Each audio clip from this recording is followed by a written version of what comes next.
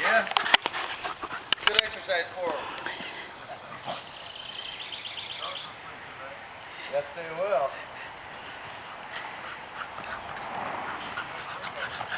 They're saying it's going to get kind of warm over Sunday, Monday.